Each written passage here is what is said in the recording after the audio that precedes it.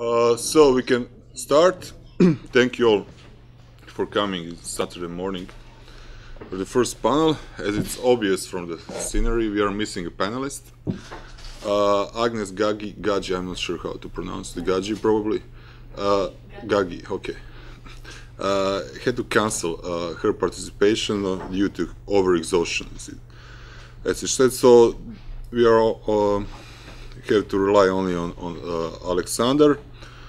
Uh, his presentation will be a little bit longer than than it, it was usual on the panel, so we can uh, compensate for Agnes uh, missing. for Agnes missing. Uh, so after his presentations, we presentation, we'll also have a discussion, and maybe also in discussion we can evoke some uh, discussions uh, that we had uh, previous uh, in, in previous days, especially if they relate, relate in some way to the Sasha's um, uh, Sasha's presentations. Sasha is really an uh, Aleksandar. Aleksandar uh, Stojanovic is from uh, Belgrade. He's now on uh, his postgraduate uh, student of uh, philosophy.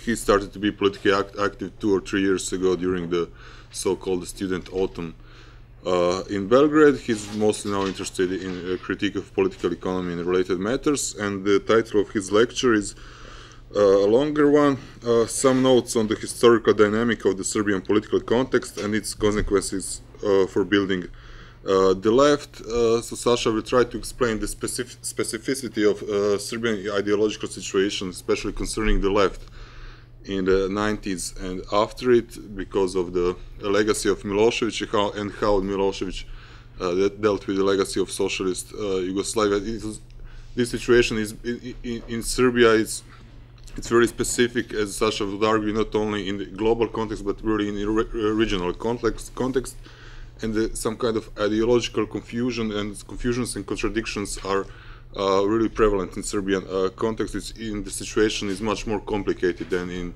Croatia or in Slovenia or something, or in other countries. So please, Sasha. Thank you. Um, I will. Oh, uh, also the usual stuff.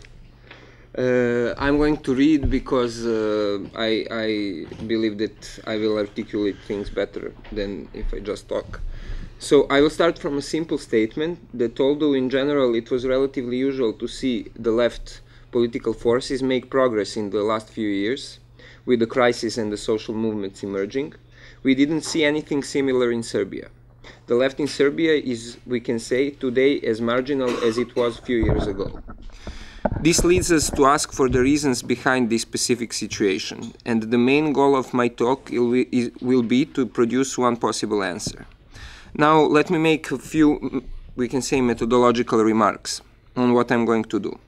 Uh, they may seem a bit abstract and they may seem relatively common sensual among us, but it's better to make them explicit now uh, than to suffer the consequences of a misunderstanding. So, the first remark. I want to note uh, that there are many ways to approach this issue of uh, the marginality of the left, and non, not all of them are mutually exclusive. One possible way to do this, which is probably commonplace, refers to sub- subjective capabilities and decisions of the left activists in the past few years. According to this way of thinking, the inca- incapability of the left to transcend the marginal position in Serbian political life and to emerge from public non existence is related to the inca- incapability and limitations of individuals working on Serbian left. This somewhat, somewhat moralizing position isn't rare within the rel- relatively small camp of those who try to think critically about the development of left in Serbia. However, I will try to expose a somewhat opposite perspective that not only searches for the objective preconditions of the actual failure of the left, but the one within which uh, the possible mistakes in tactical reasoning of the left leftist collectives throughout last few years are seen as something that stems from the lack of the sensitivity to the specific Serbian ideological context, as Marko said. Um, as to the question uh, uh, of above mentioned uh, personal critique perspective, uh, I want to add that even if we ignore the main point that I'm going to develop uh, about the ideological context and uh, which which was and still still is very complex. Uh, the one thing that we have to bear in mind is that this context is not something that the left groups and agents can ref reflect upon from a safe distance and could reflect upon from a safe distance throughout these years, but something that deeply influences their own way of understanding themselves and the political concepts and criteria they will use. The ambiguity and complexity of the ideological context that we can determine now after some time has passed had at the time its own consequences on the way that the left agents could conceptualize the context and, the, and themselves. In my view, this kind of vicious, uh, vicious circle of ideological actuality limits the scope of any kind of personal critique that can be made ex post facto, that is now uh, when we speak about what, what happened earlier.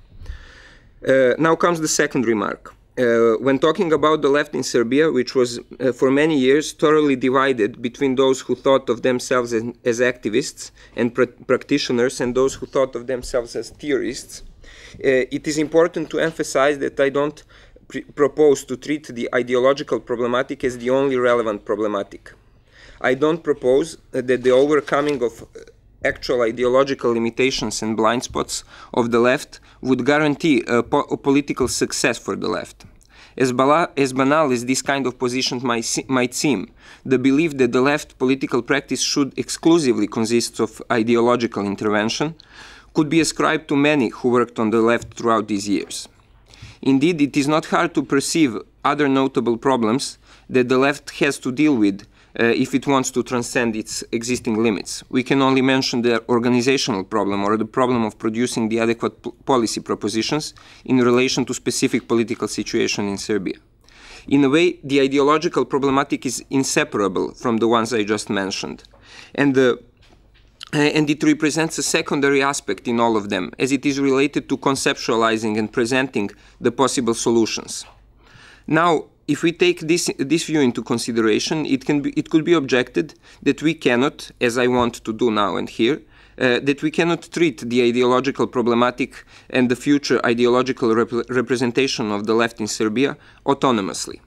To this objection, we should counterpose the fact uh, that the agreement between the activists and groups on precise ideological orientation within actual ideological context, while having in mind its previous dynamic and the analysis of this dynamic, is a primary determinant if they are to approach and deal with any problem that may come up on any level in an efficient and satisf satisfactory way.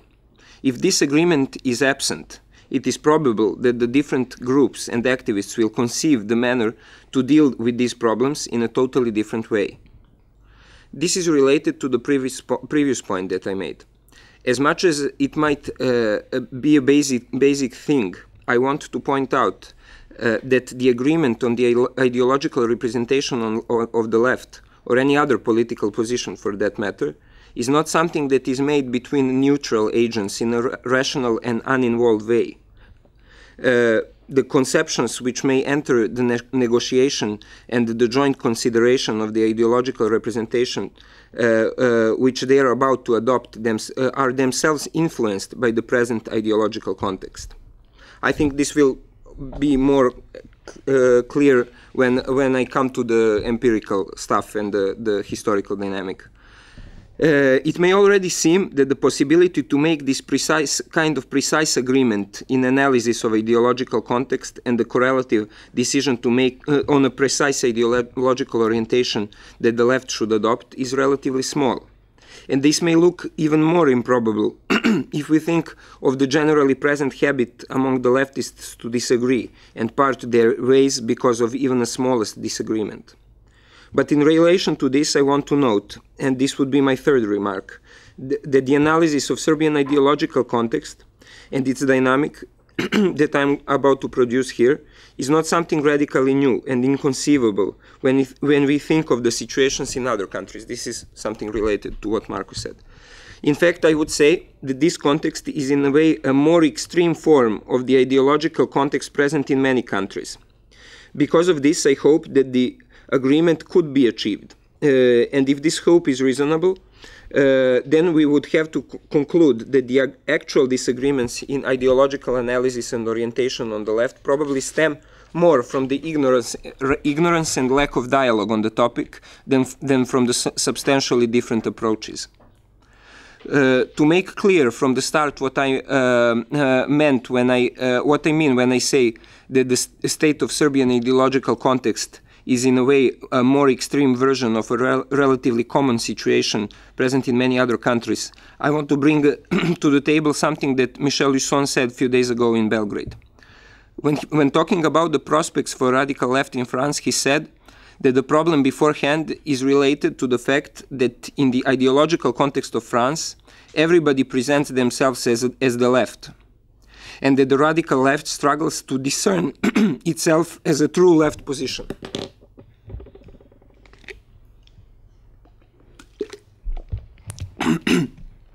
in Serbia and in similar, similar ideological context, we can say that the problem is just the opposite. At present, in Serbian politics, no one substantially tries to present themselves as leftist political position. uh, to say for yourself that you're a leftist, or, or, or even a rightist to that matter, or that you're for a left politics, does not provide any, provide any kind of uh, legitimation and brings no prospects for any amount of political power uh, uh, that, that would come your way. Uh, if you state this kind of thing in Serbian public, it is almost as no one would even understand you. I think that this kind of ideological context is present in many other countries.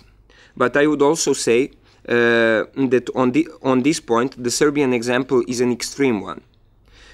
This might uh, become obvious uh, through the rest of my talk, but if it doesn't, I propose that we take upon it in the discussion. Now we can say that uh, the fact that the left political uh, left as a political signification is relatively in, in, incomprehensible uh, in a way speaks for itself. But we can also say that from our own theoretical perspective, its real significance can uh, only become apparent if we put it in a historical context and out understand how it came about. From this point on, I will try to analyze things by separating this historical dynamic into three periods the 90s, the 2000s, and the period of 2010s uh, that I want to name extended 2000s. So, the, the, the 90s. Concerning the nature of the ideological context of the 90s, we should certainly start by considering the role of Slobodan Milosevic. Uh, the Serbian ruler that was the head of the state from the dis disintegration of Yugoslavia through the period of ethnic conflicts in Bosnia and Herzegovina and Kosovo conflict afterwards until the, he was overthrown in the street protests called, uh, by the so-called democratic opposition in October 2000. So the 90s. Uh, uh, from an external perspective, Milosevic uh, could look as a typical, a typical post-socialist dictator that started the restoration of capitalism in a peripheral, peripheral country of Europe. But the fact is that this depiction is wrong. We can see uh, why that is the case if we, for example, uh, take into account the difference between and the Croatian dictator Tudjman. On the one hand, Tudjman was a military general, general of a Yugoslav army in the times of Yugoslavia, who took off his uniform at the moment uh, in which the war of the 90s began. And re he revealed his purely nationalist position. Uh, in his pro-capitalist politics, Tudjman did not hide his intention to privatize and sell Croatian ex-Yugoslav enterprises to Western capital, more or less, uh, or at least to privatize them very harshly we could say that this typical uh, behavior of post-socialist rulers, this was a typical behavior of, of post-socialist rulers in this part of the world. On the other hand, Milosevic, uh, who was no less consistent in privatization, primarily to the be benefit of domestic capitalists, so-called tycoons, and also no less nationalist than Tudjman, kept a pro-Yugoslav, pro-socialist appearance until the end of the war, and even until the end of his rule, uh, five years later in the 2000s. 2000. The army that he led in the Yugoslav war was called the People's Army of Yugoslavia. And the party which he was the head uh, of was called the Socialist Party of Serbia. And until the end of his rule, he ascribed himself to a kind of certain uh, anti-imperialist politics that defended the pe people's interests from the interest of foreign capital. This Milosevic's positioning to the left part of the political spectrum determined the significance of the expressions like the left or pro-Yugoslav in Serbia for a long time, as we shall uh, soon see. We can say that the predicament of the left ideological space was not only determined by the fact that Milosevic's so Socialist Party was major agent of privatization, like so many so-called socialist parties in this region, but also by the fact that at the same time, uh, as it was pursu pursuing this restoration of capitalism and bringing the demise of general wel welfare, it implemented a strong nationalist, anti-European, anti-imperialist popular rhetoric. This ideological complexity was uh, also misleading for, for the left understanding of Milosevic abroad. Leftists, and among, uh, amongst them most notably Noam Chomsky, thought that the fact that Serbian socialists led by Milosevic didn't take the road of transforming their, their party into a so-called left liberal party that would be directly obedient to the Western capital, as was done in the majority of post-socialist countries, was good enough, uh, this was for him a good enough proof that Milosevic uh, really led a consistent left-oriented politics. In doing so, big part of Western left wasn't able to acknowledge that Milosevic was really the one that started the mass privatization and that his nationalism was not a kind of anti-capitalist, anti-imperialist patriotism that we see in Latin America but really a capitalistically oriented na nationalism that helped newly emerged, uh, emerging domestic capitalists to immiserate the people of Serbia. Big blows to the material state of the people that were, uh, that were necessary for the capitalist restoration to reach its expected level were, de were dealt in the name of socialist politics. Even when at the end of the 90s the so-called democratic opposition rose against Milosevic, it rose against his presumed socialist collectivist politics, and it rose in the name of capitalism, entrepreneurship, and self-interest. Uh, even the social benefits that were, that were expected to come out of the adoption of this alternative position were expected to come from a privatized, more liberal economy not small, not a small number of trade unions even at the time saw the privatization and the selling of domestic enterprises to foreign capital as a way to ensure the greater, greater welfare for the workers of, the, of those enterprises. This is well documented in the recent study by, made by Goran Music on Serbian working class in transition. In this period, consistent left politics was almost in, inconceivable, inconceivable because the left in the uh, public eye meant either that Milo the Milosevic politics or the social demands incorporated in the position of the so-called democratic opposition that we just mentioned. Uh, this is the ideological context in which the left-oriented intellectuals and the public spokespersons of the Yugoslav period uh, chose which kind of left they want to ascribe to. And the student movement resistance that emerged, Otpor, that emerged in the last years of the 90s connected itself uncritically to the idea of capitalistically oriented Serbia of democratic opposition. Now we come to the 2000s.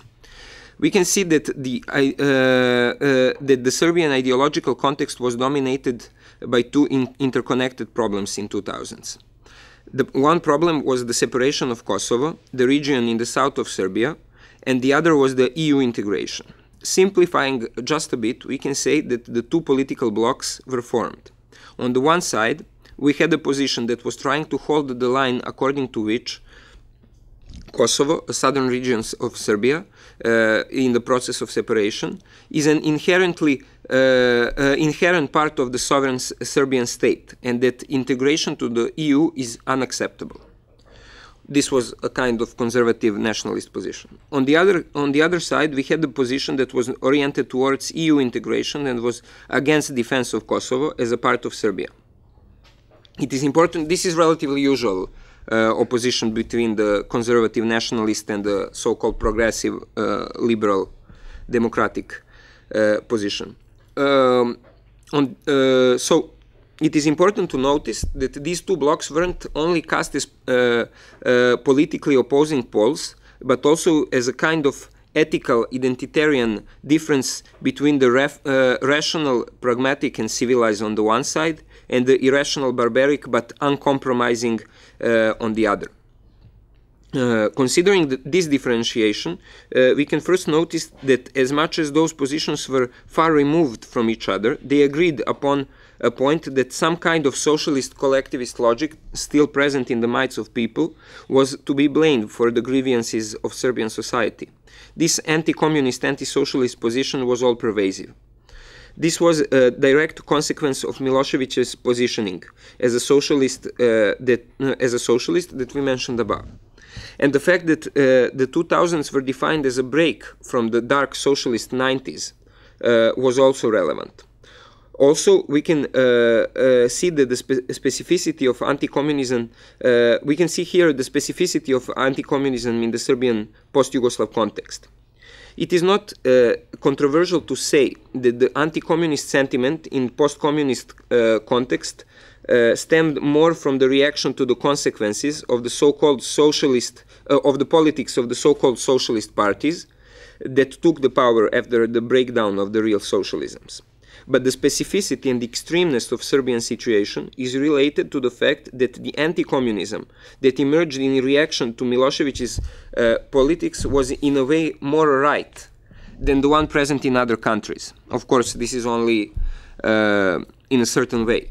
Uh, in other countries, there is uh, these so-called socialist parties were very explicit in, in presenting themselves as pro-Western, liberally oriented parties, and socialism uh, was in many cases only a name.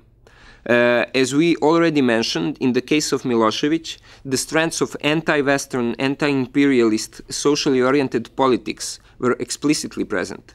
In this way, the preconditions for the total delegitimation of some, something that represents itself uh, as the left were put down. Now, at the same time, there is another aspect that could be seen as the opposite, opposite of the one that I just mentioned. One of the most relevant things about the two positions that we mentioned uh, was that the sign of socially oriented politics was in a way ascribed or at least tried to be appropriated by both of them. The sign of socially uh, sensitive politics could be placed in front of the position that represented the politics of sovereignty toward Kosovo and resistance toward the European U Union, because this position could be seen as a form of national anti-imperialist solidarity and autonomy position that tried to protect Serbian people from the Western exploitation.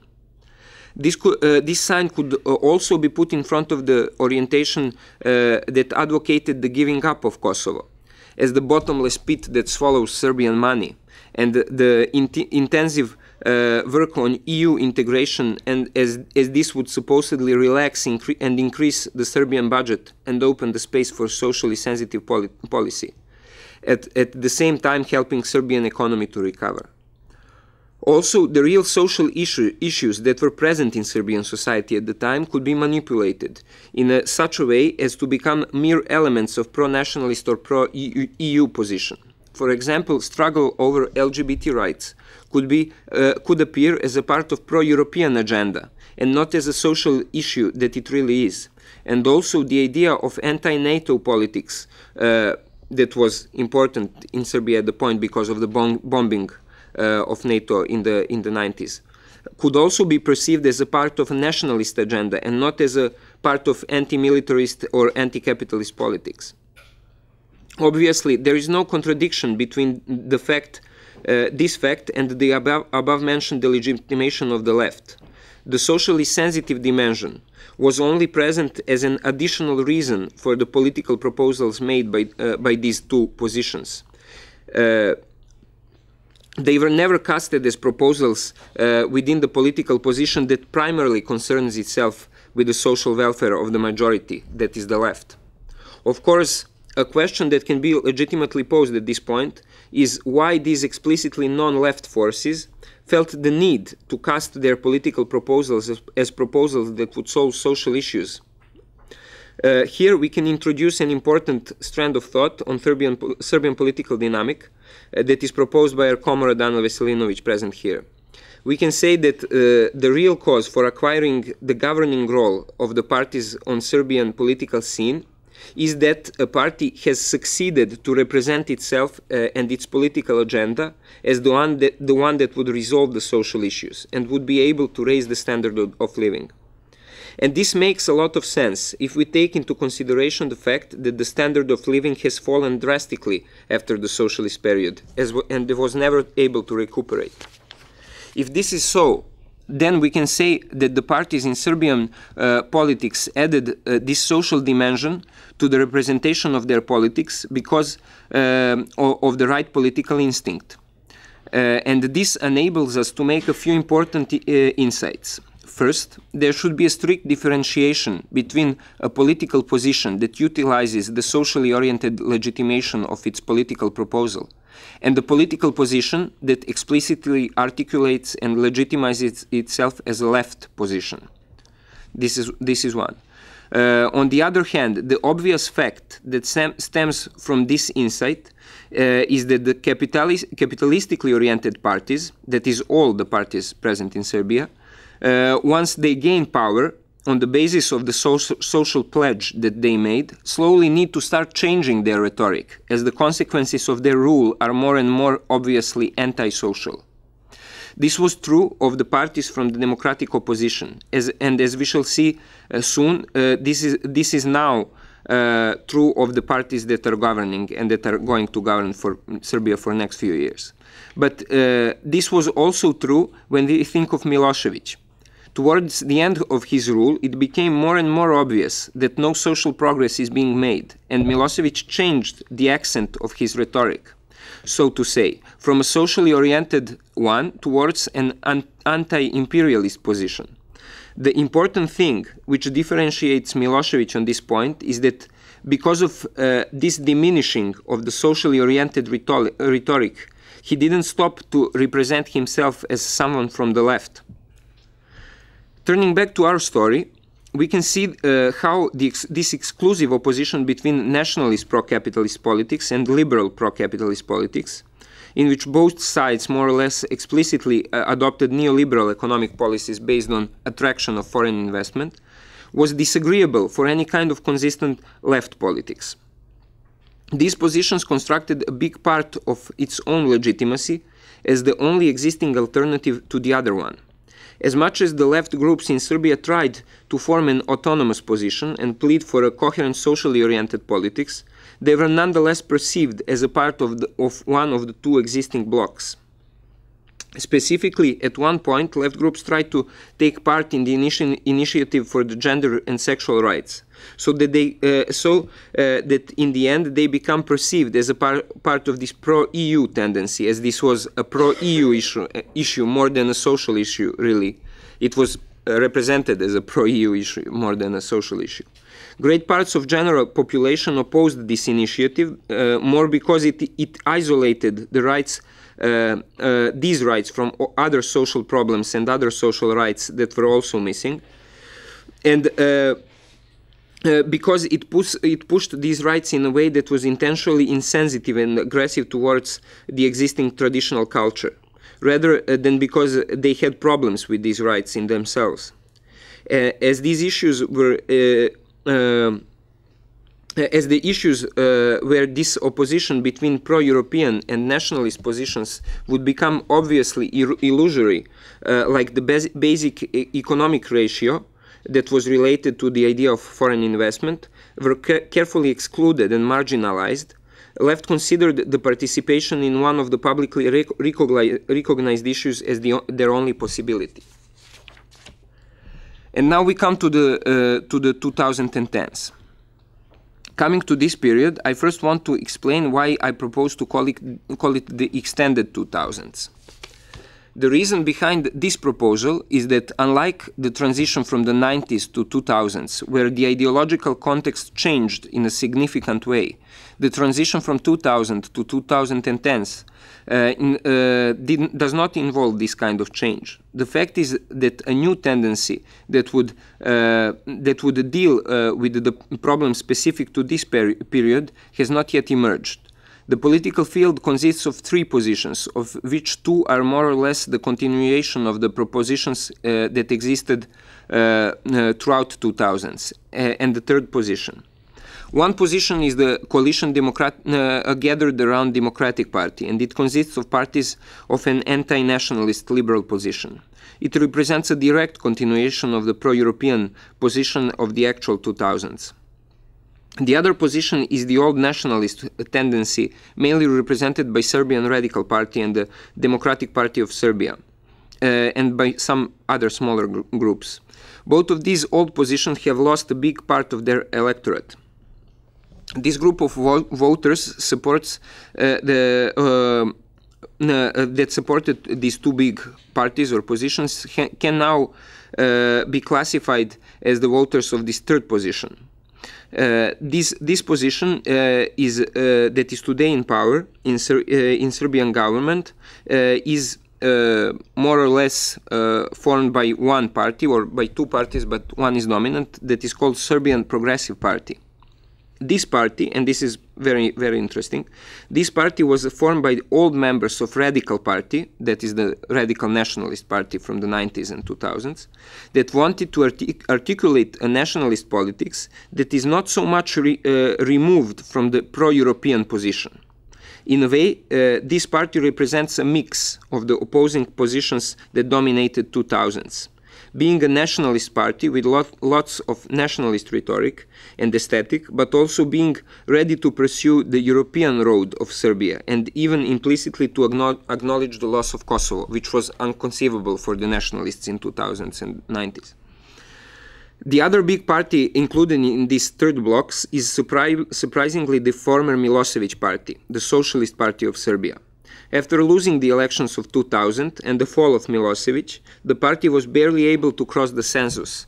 But today, this party uh, is a part of the ruling coalition and, and, has a rel relatively strong support of 15%. Uh, today, social, the Socialist Party, like the Progressive Party, is the kind of pro-European party with a type of nationalist rhetoric the, the party tries to, uh, to represent some of the social demands, but this is, uh, in, a, in the best case, a flirt, because it supports the neoliberal propositions that are presented in the parliament. The first thing that we have to notice about the period, period after 2010 is that we cannot really see a new position. This is why uh, I call this period the extended 2000s. This statement is highly contestable but the, definitive reason uh, that supports uh, uh, this this kind of analysis is the fact that ideologically this new third block is a kind really a kind of combination of nationalist and pro-European positions that were present in 2000s. In a way, uh, the already mentioned ethical differentiation between the rational, pragmatic, and civilized on the one side and the irrational, barbar barbaric, but uncompromising on the other is still uh, the only functioning di differentiation. Also, uh, uh, in the 2000s, all the existing positions are more or less openly neo, as in 2000s uh, more, more, all positions are openly uh, neoliberal. Now we, we can see uh, we can say that the similarity of the ideological context of the 2010s to the context of 2000s entails that all the difficulties from the uh, articu of articulating a consistent left position uh, in the 2000s are also present now uh, even if the Kosovo problem is now not as present in public as it was 10 years ago, and the European road of Serbia is more, or, more or less uh, certain and its consequence, uh, consequence is less interesting for the debate. These, the things haven't yet really moved on. Uh, like in 2000s, the main question that presents itself before a kind of position that tries to emerge uh, is how much nationalist and how much pro-European it is. This is obviously a false, false alternative in the eyes of anyone who tries to articulate a left political proposal. Now to conclude, uh, we can add that the first traits of new ideological context are really starting to appear. Uh, in this perspective, we, uh, probably the most important phenomenon is the emergence of anti-corruption politics that is playing an important role in the agenda of Progressive Party. Uh, the adoption of anti-corruption politics uh, is probably the biggest reason for the amount of support that the party enjoys today. I think that besides the fact that from the left perspective we need to be critical of this idea, that the material misery of the people is the consequence of corrupted politicians uh, that, that didn't work in their interest. We also need to acknowledge that the necessity to include this kind of political proposal and reasoning means that the deep social, social mat ma material issues that are dominating Serbian society for a long time cannot be ignore, ignored in the way that they were ignored or manipulated in the mentioned dile dilemmas between pro-European and nationalist, nationalist positions. We can see that now uh, they are starting to take toll on the dilemma between nationalism and pro-Europeanism, and that it is not enough to cast the nationalistic or pro-European politics as a kind of socially oriented one. In a way, we can say that the bar for becoming a socially sensitive political option in the eyes of the people is starting to rise. The material misery of the people in Serbia imposes itself uh, more and more explicitly, and at this point, the anti corruption politics can appear as, the, as an answer to this question. As I try to stress out, this doesn't mean that the openly left political orientation is uh, inherently more acceptable. Uh, when we take this into consideration, we see the size and the nature of the distance that the ones in, interested in building the left in Serbia have to overcome. Here we should uh, be able to tackle the question of the social movements as something that uh, in what many leftists put their hopes these days. Not only that the appearance of a social movement wouldn't by itself enable this separation, this distance to be overcome between the socially sensitive position within the, uh, within the conceptions present in the Serbian pub public and the left position. Uh, as we know, uh, that it is usually uh, imbued with the, uh, the social movements are usually imbu imbued with a kind of anti-political, neither left nor, uh, nor right sentiment. But if we take into consideration the fact that the victory of Progressive Party was gained on the basis of introducing a new, explicit, very explicit and intensive anti-corruption rhetoric, uh, that uh, very precisely mirrors the general opinion on uh, that the worsening of the material situation has to do a lot with the immorality of politicians. We can see why any, uh, any kind of social movement is still missing. If the analysis is right, it is probable that it will not emerge for some time in the future. It is usual to start the reflections on the prospects of the left by pointing, pointing out that with the austerity measures and the bailouts, we, can, we come to a kind of crisis of legit, legitimacy or democracy. But I want to finish by saying that, at least concerning the Serbian context, and I am not sure that this, is, uh, this point is so, rare, so rarely true, the basic fact from which we have to start our thinking is that even though the social standards are deteriorating and the different parties in, power are leading the same politics in an important sense, we don't find ourselves in a crisis of democracy or legitimacy. So finally, to conclude, I want to state that the left not only needs not to presuppose that the increase in relevance of the social problematic in Serbian public inherently opens a place for left, and that because of it, uh, a politically effective social movement will probably emerge. But that uh, the first step in the ide its ideological self-orientation still is related to its capability to found political conceptions and criteria that are fully autonomous from the distinction between the civilized, pragmatic, and progressive anti-nationalist position and its nationalist opposite that I mentioned.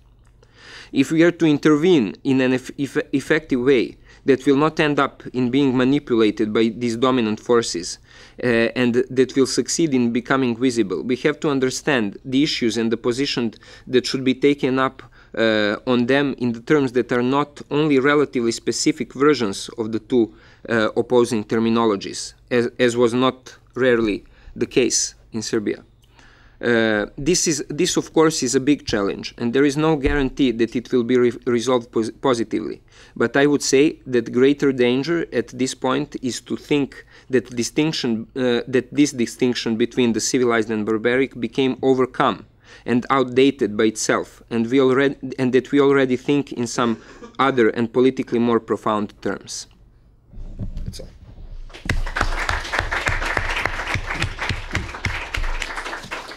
So thank you, Sasha. We will open the discussion, but before uh, I have to correct uh, one mistake about our bad guy.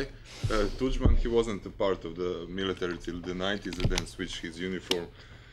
Uh, he was he he in the late 60s or early 70s he he was Abandoned out, mil- uh, Uh-huh, okay. out and he worked after he was in jail for a little bit and he worked in the institute for the history of workers movement so he was not that kind of pragmatic guy he was more an idiot guy so Okay, okay. the director yeah, Yeah. the director of, of the so we have all Okay. it's also interesting guy in this position so please questions comments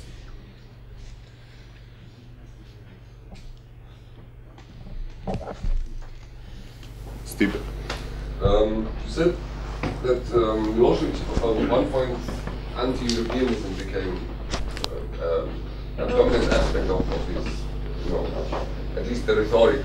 But uh, if you look at it, um, some of the statements from the 80s, you know, um, he was, you know, as an American banker, it was, you know, bankers school in, in, in the United States and, and so on.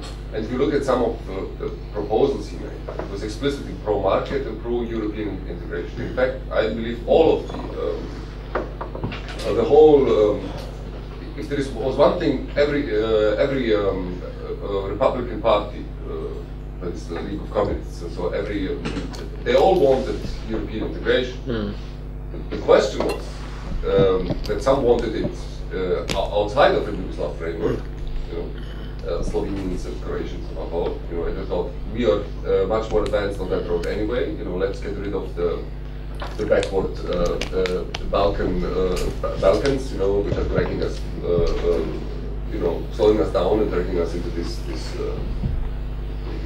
swamp of the, you know, the Balkans and, uh, and all, all these ra- the ra- racist narratives that you mentioned, you know, this opposition between the rational, civilized and European and the, and the backward, irrational and the Balkans has been, in that sense, always an underlying, um, you know, narrative. I- and it's not that Milosevic was anti-European uh, or an anti-West at that point, of course. I mean, he was, even the IMF perceived him, you know, as, as the man to talk to, and the Americans did for a very long time, and so on and so on and so on. It was only, I believe, later Yeah. that, that he adopted, uh, mm, but these were the the circumstances he chose. It was Yep. not a deliberate strategy, it was simply an opportunistic, um, you know, um, rearrangement, a resetting of, of, of ideological, uh, uh, uh, you know, uh, terms, and he did that often, as you know better Yeah, I yeah. do, and he was in that sense. And then, when you say he was as uh, nationalist as uh, Tudjman, well, I would say, you know, Tudjman, if, uh, if you can say anything, um, um, uh, on behalf of him, he was really, um, you know, he was uh, a romantic idiot to the end, you know, in his nationalism, you know, at least uh, the way he perceived it. Milosevic wasn't like that. I mean, he was uh, much more, um, you know, he was a power politician, much more than than uh, than an ide- a, a fanatical ideologue. Uh, Yeah. Uh, you know, like like Tudjman. So should I answer now? I'm Darko. Uh, this is more comment to Stipe's uh, comment. Uh, it is true that, that Milosevic was pro-European, but uh, as you said, it was in the late uh, ni- uh, through the 90s, especially the late 90s, he took this anti-imperialistic uh, uh, code, to, so to say. But what is important, I think, what Sasha was trying to stress for the ideological context, it was that he was perceived as that uh, during the 90s and especially uh, uh, start of 2000s and till now especially like uh, um, uh, pro-socialist pro pro pro uh, pro anti uh, anti-europeans. So uh, that was uh, what uh, dominated uh, in the protests uh, during the 90s and, and later. Uh, one of the main pros uh, slogans was uh, anti-red bourgeoisie. So that was how it was perceived so it, it uh, left uh, uh, great consequences for the building of the left from the, the even in, during the 90s and especially after that period. Yeah, I, I want to add now just a thing. It, it was even worse in the case of Milosevic. This game of being anti-European, anti-imperialist or not, Uh, and it was so pragmatic that uh, it, he was even, and I, I don't know if you know this fact, but it's, it's really uh, totally extreme. Uh, he was even candidated for Nobel Prize for Peace in the 90s, before the Kosovo problem emerged. So they were they even after the war they even uh, they even gave him there was this kind of uh, possibility that that he will come out as this I don't know uh, because of the Dayton agreements uh, he would come out as this peacemaker uh, even if he in Serbia was represented as someone who was pushed to make the Dayton Agreement, who didn't want to make it, uh, but because uh, Serbians were dying in the war, he wanted to save them and so on. And uh, but he was uh, uh, there was this opportunity that he will become this kind of peacemaker of the Europe and not the the blood maker of the Europe as he, he is now perceived. So uh, this this trajectory of possibilities uh, where Milosevic uh, uh played on uh, on that he will become the pro-European force in in Serbia uh, and have the, this legitimation from the Europe itself was present throughout the, the almost until the end. And yeah, and the, the other thing is I, I don't know uh, whether we should uh, uh, talk too much about it here and now, but uh, it's very interesting uh, to follow Milosevic's statements from the end of the 80s and, and the beginning of the 90s and uh, to lo look at his rhetoric and it is very specific. Mm, even the first big big big moment the Ko Kosovo issue when he went in the late 80s to the to Kosovo and when when he said the uh, Serbian workers are right, uh, the the Albanians are uh, oppressing them and so on. Uh, it was very uh, it is very interesting uh, and you could say this is just just a part of the the way that politicians spoke in in Yugoslavia because it was a socialist country but the words that he uses for the uh, for the part of the elite that supported the Albanians and against was against the Serbs or wasn't but was perceived as being against the Serbs uh, in Kosovo at that time was that they're uh, they're re reactionary they're stopping the revolution. The, these were the, the the words. And you can say okay this is the way everybody had to talk at that point but uh, I, I would say that there is uh, a little bit more than that in this uh, in, in, this way of speaking. And he was, uh, and now when you look at the, the his position in the end, and the the fact that the the sister party of the Socialist Party that was formed in the 90s by his by his wife Mira Markovic was called Yugoslavian Left uh, uh, with Yugoslavia, this old Yugoslavia that it really referred to, and not this small Yugoslavia, this piece of Yugoslavia that uh, that only existed, didn't exist, and they made a party called Yugoslavian Left at that point. This this is very, I, I would say that this. Uh, says a lot that he he had uh, he, he, invested much to pursue this kind of uh, of leftist representation of himself. I wouldn't say that anyone of the post-socialist uh, figures, power figures, pursued this kind of uh, always trying way of always trying to to legitimize himself as some someone from the left. So more questions or comments? Just a short comment that, yeah, picking up on what you just said, that basically I agree with this and it needs to be reemphasized, especially if you put it in, uh, if you compare it with uh, uh, the region and other post-socialist hmm. countries, like uh, for instance in Romania, uh, the lack of uh, this um, any history of anti-imperialist or anti-European policies in the late early 90s led to an internal differentiation amongst that first pro-European bloc, which actually ruled the, the political sphere. And from that internal differentiation between straight neocons, let's put it this way, and moderate Western-centric liberals, right? From that internal differentiation emerged uh, the new, uh, the new, the new ideological positions. So that dominated uh, uh for a long time uh, political spectrum. that I think has to do with the previous historical lack of an anti-imperialist position. Ivica. Yeah, I wanted to ask a short one. Well, having in mind what you described the situation is and, and all this uh, historical path that has been uh, taken, um, what would you say? What is the, let's say, the direction that people who are, know, involved in this left attempt of building left from the scratch, let's say, what is the direction that should be taken? Is it, I don't know, is it maybe um, producing some kind of knowledge analysis, or is it maybe producing knowledge plus, let's say, I don't know, some civil society organizing, or is it trade union organizing, or how, how, how, how, how do you say? it? Yeah, well, I, my here I uh, tried to uh, to argument for a, a relatively negative proposal and a relatively negative conclusion, uh, relatively minimal also, but I think very important and usually usually ignored or or uh, forgotten.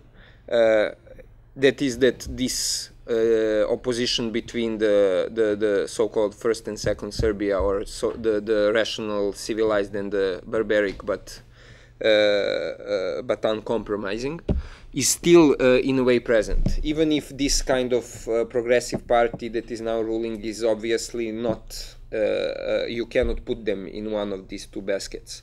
But and because it is present, as I said in the beginning, it doesn't only mean okay, we see it, we, we we know that it exists, so we are now, as we reflected upon it, we are distanced from it. We can have our position and construct it as we want.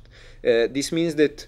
Uh, this kind of uh, opposition is always lurking behind and trying to, in a way, uh, become the, the, the, the, the functioning within any kind of distinction that we make uh, on the left, and the leftists are making. And I think this is something that must mustn't be uh, forgotten because, uh, and I think we uh, we fall into to this trap relatively usually still uh, that our position is the civilized position in a way we, we wouldn't ever say it. No one on the left would now say these days that we are some kind of civilized political position against the barbaric one. But uh, i would say also that this uh, when you uh, push the, the arguments and the criteria that people use on the left today uh, uh, a bit further uh, it more or less comes up.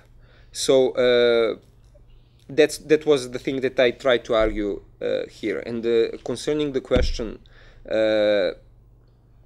I the, the the question then poses itself in this way: If this opposition is still present and actual and functioning, how do we uh, really, or what are the things that uh, would guarantee us or enable us to to overcome it or to go our way? And uh, I would say, in the first instance, uh, the knowledge production, because uh, if uh, it, because when uh, and I would I want to bring this to uh, to the table also. Uh, you can have you know one one way to to think of this opposition is okay. If we are anti-capitalist, all is safe. If we are anti-capitalists, it's obvious that we are not any uh, uh, we are not uh, a part of these two uh, two blocks. But it is not right. Uh, you can like proclaim anti-capitalism all you want. This distinction can all the time work and worked uh, in the in the ways of thinking of many leftists. So I would say that this step uh, that is maybe uh, guaranteeing us something or enabling us something more is uh, the step of knowledge production before because uh, the the statement of anti-capitalism or left or whatever is the one thing but the knowledge production that is inherently anti-capitalist or the production of the the specific argumentation concerning the economic situation concerning uh, cultural situation, whate- whatever, which is uh, based on the specific experience of the people uh, that that are uh, that know the, the specific situations, that is itself inherently anti-capitalist or based on the class analysis or whatever the tools we have, uh, is I would say relatively safe because at this point we we we. Uh, uh, uh, we we uh, inherently say the things that cannot be uh, uh, misinterpreted. They always can, but uh, I will, I will give, you just one example, and it is relatively simple, and it, this is not uh, coherent knowledge. Uh, uh, but it is a it is a beginning. It is the uh, the linking of Milosevic to uh, the the uh, dominant figure on the democratic opposition, uh, the Djindjic. So we have uh, Milosevic, which is this legendary uh, nationalist in the end figure. And on the other hand, we have Djindjic, uh, the, the premier from the beginning of the uh, 2000s, which was shot in 2004 and this was a big myth is built around him that he was the one that he was the the guy wanting good for serbia and then they killed him and now whatever yeah, yeah, yeah. So uh, and uh, this is and and when you have someone who is shot on the on the on his political uh, uh, job, uh, then you have this uh, symbolic of sacrifice and so on. And then it is very hard and in in any kind of of broader public, it is very hard to to to question Djindjic in any way. And if you say from a leftist position, and I would say this is an example of this knowledge production, that uh, economically looking from from the uh, uh, you know, from the position of critique of capitalism, that Milosevic and Djindjic are the part of the same uh, uh, same reintroducing of capitalism in this part of the world, and that there is no difference, no difference at all really. Then uh, you say something and it, this is relative uh, very hard even today. It is very very hard. Even if the left is now relatively known at least among some people uh, that know the political scene uh, better in Serbia. Uh, when they hear this kind of, of statement it is it is uh, you wouldn't believe what kind of reactions it provokes. And I would say this kind of, and it's now obvious that also it is it is certain that the nationalists would would be uh, uh, uh, almost equally equally provocated if you say something like this. So I would say this is the way because first first step of it because we can do this. We have the empirical uh, uh, data that we need. We uh, more or less can and will be, I would I would say, able in year or two, able to utilize the theoretical apparatus needed, and this this knowledge production would be uh, possible, and we will have it. And at that point, I think that we will uh, be able to control the discussions and this this is I, I think the most important because even if you believe that you're a leftist and you believe that your criteria are some uh, autonomous criteria once you come into the dialogue if the opposite side is uh, well prepared and they are they were preparing for 30 years. They exist as political po- positions for 30 years. And you come with your big words and you have nothing behind. You're you're you're you're dead. It's not yeah. It's not possible. Just one short thought. Um, I, I'm interested in what what are the opportunities of some kind of uh, institutional support for this kind of uh, let's say project. So knowledge production, and then we have people who actually are able to do it and they know what to do and, and so on. But what is the what is the um, possibility of let's say I don't know academia support? So maybe this is there any possibility that uh, some of these people are going to I don't know get a job in some kind of institution, trade unions, uh, I don't know academia? Yeah. society. Wha- How, how, how do you, what, what, what situation with, let's say, with the financing or something like this? Because it's, you know, it's going, it's going to take some, I mean, Mhm. serious financing. I think if you want to do it like, in, In a proper way. We all want to do it in a proper way. So Yeah. not to have a first first result in 100 years, but maybe in five or ten. Yeah. Well, uh, uh, yeah, I, I, I have to be negative on this because uh, um, uh, no, no, the the the the, the, existing infrastructures uh, are not not rel- uh, because it is. mm, Uh, even if it is not uh, obvious when you talk to the people in the institutions, trade unions or uh, institutes or whatever faculties or so, uh, it's even even if it's not obvious that they judge and that they have this Uh, inherent criteria that are very very very precise, uh, I I would say that they have it, uh, and uh, I would say that they really know to choose uh, what they should choose and uh, to to uh, to evade having anything to do with with any of us. So. at this point, I think we are totally we are we are we have only the civil sector and whatever uh, the the material possibilities we can get there. Uh, at this point, I would say we are we are relatively limited to this. And uh, I, I, I don't know how this situation changes. On the academia in Serbia, which is totally politicized, uh, like there isn't anyone working in the academia that isn't in this or that way uh, paid the price of being a part of this or that political uh, force uh, in Serbian society. Uh, I think there the, the change always comes the other way. You, you have to be a, a existing recognized political force, and then something opens. But the other way, I wouldn't say that it ever would go in Serbia. In uh, with trade unions, maybe maybe situation is relatively different because they, as the, these institutions in themselves are not so uh, removed from the from the from the social and political dynamic.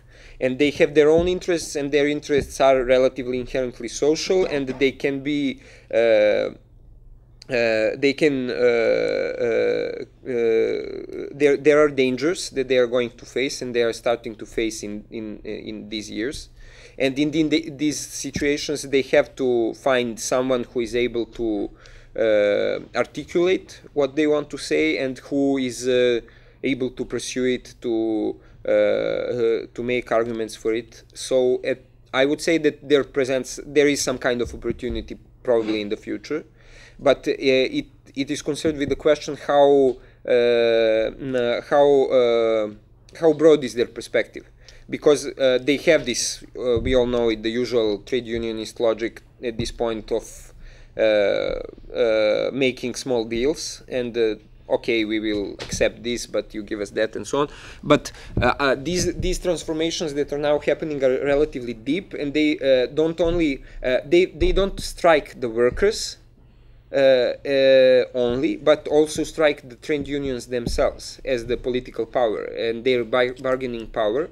And uh, if they are able to recognize that their own power, political power and uh, uh, position in the society is, is, it is endangered and will be endangered, and that none of the political positions are, are existing political positions has any any kind of beneficial view on this and will help them, uh, then we could maybe uh, be this this kind of force to, to that they would they would start to, to work with. Okay, we have time for uh, one more question. Yes, please. Okay, um, I have two really two remarks and a question. Um, first, on the topic of knowledge and knowledge production, uh, I'm not really sure that knowledge, as in a certain body of knowledge, is key in endorsing the progressive political position.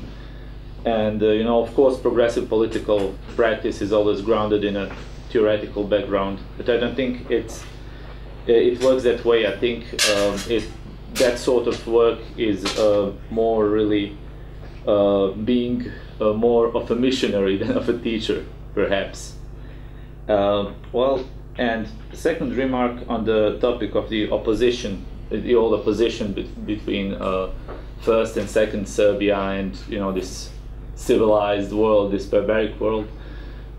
well, it's if if we are going to see it sorry everywhere then it's really going to be everywhere you know if we are going to read it into everything uh, for instance you know if i say that an extreme right-wing organization such as i don't know Dveri in serbia if I call them uh, barbaric and regressive, you can always say, oh, oh you're, you're that sort of uh, person, you're going to call yourself civilized and you're going to call them barbaric. And it sort of uh, becomes, you know, um, uh, anytime a sort of um, strong language, which I think sometimes really is necessary when dealing with phenomena such as this neo-fascist, you know, renaissance, uh, this can come up. And so I think it's pretty much in the eye of the beholder often. Mm-hmm. And the question was, you touched on the topic of the um, LBGT rights issue of LBGT rights, which I think is important because it's a issue that issues issues such as the, these uh, often get neglected in this sort of discussion. And the question is, do you think that in this specific situation, not only in Serbia but on the periphery in general, uh, the position is of the left is somewhat specific, and in that it has to, uh, you know, um, it has to stand for also some issues such as, for instance, the political emancipation and integration of the LGBT people. That in uh, the so-called Western countries are, is, are already being dealt with by other agents. So the left has already, you know, has that has that sort of space or sort of. Yeah. That was really my question. Uh, well, first the, the question, then maybe just reaction, short reaction on the commentary. Uh, concerning the question, well, um, yeah, I I I, uh, I think that uh, there is no backing off uh, on this question. I wouldn't ever like try to to argue for backing off on this question because it is I don't know unpopular or whatever. And I would never even uh, uh, accept this kind of easy or shallow opposition. Back, backing off on the question and uh, accepting it or pursuing it. Because uh, the, the, the, the thing is how is it uh, presented how is it uh, uh, what connotation what is the question in the question or, or in the lgbt question and uh, i would say that the work has to be done and i think that it is starting to be done that the question become reframed because it is very framed and framed in a very specific way. With the, uh, it is first isolated.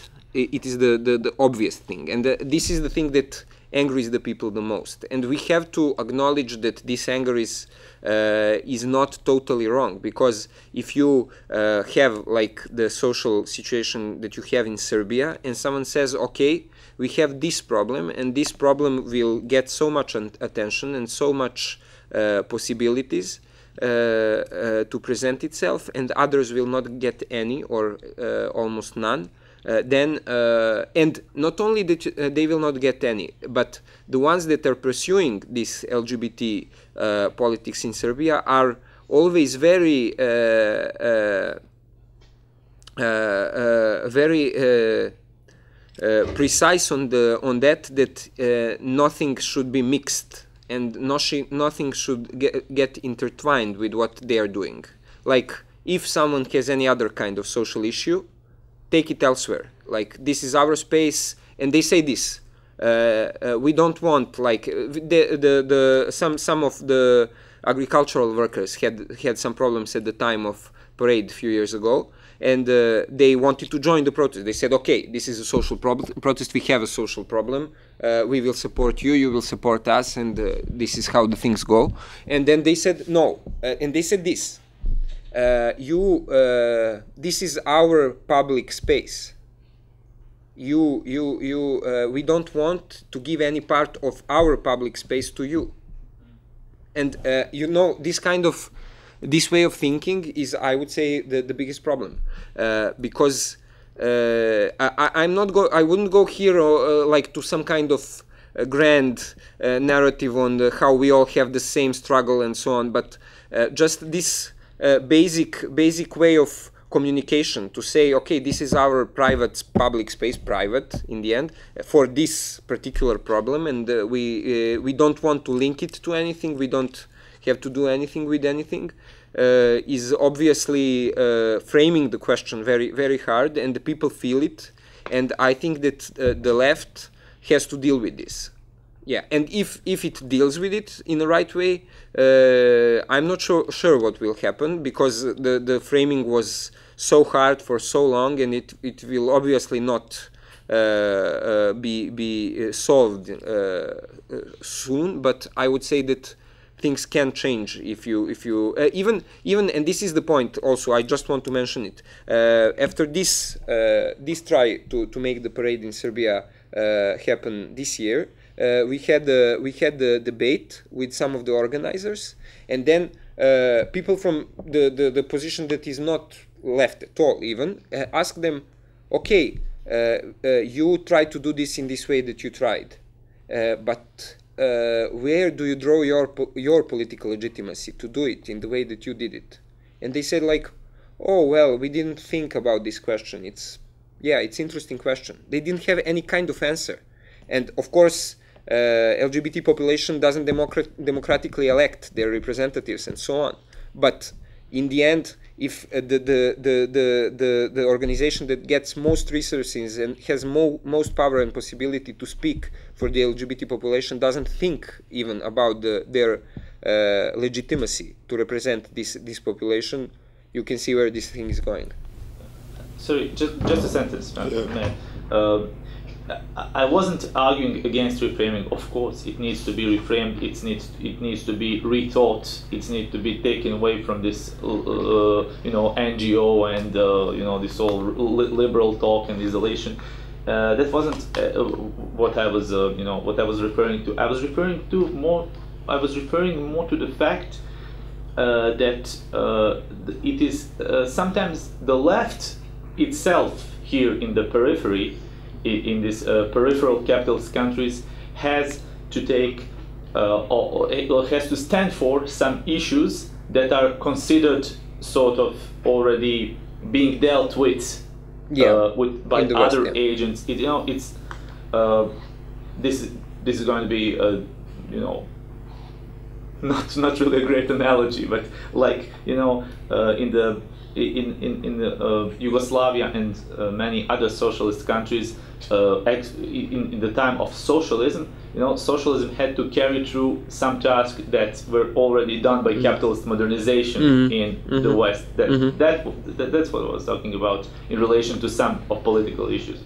Yeah, uh, just this is the last comment. Yeah, I, I uh, and this is the, the this was one of the main main the things I wanted to talk about, and I try to, to talk about in the in the text, uh, because uh, and I would say uh, the, the, the the shortest answer is you have to first work in your own backyard, and then uh, like then you can start to address the questions that are obviously addressed by others and that are uh, framed in a way by themselves and uh, uh, I, that's why I say this kind of knowledge production is the first thing, uh, because it is something that is it is relatively doable at this point, and you can at least start doing it.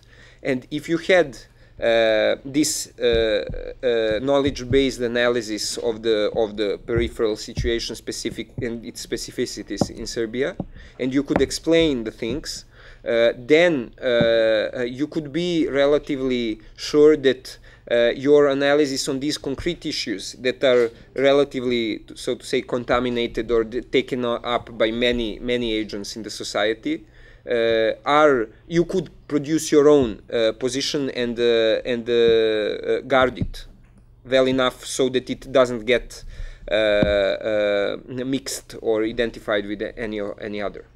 Uh, and I, I think that's the way uh, because if we had this at this point this analysis let's say of uh, transitional period in Serbia and we have it in a precise way done then talking about this specific issue its specific history throughout these years uh, would be possible. And we are not we are we don't know. We we uh, we feel that something is wrong and we feel uh, that uh, uh, and the only thing that we can say now is the things that I most uh, more or less said. But this is not the knowledge based analysis that we need based on the on, the critique of the of the specific transitional processes in Serbia. Only if we have this this kind of analysis, I would say we, we would be in a relatively safe safe position to start. Okay, thank you, Sasha. We have to conclude this panel. And to announce the next panel, we will start in, let's say, 20 minutes, 25. Uh, interesting panel on, uh, I have to be flexible because of the situation. Uh, the next panel, uh, the participants of the next panel are Jovica Lončar and uh, Vuk Vukovic. They, they will talk about organizational problems on the level of trade unions, Jovica and Vuk about uh, problems of the small left organizations and, and, parties and their way, how they perceive themselves in a sense. So thank you and see you in 25 minutes.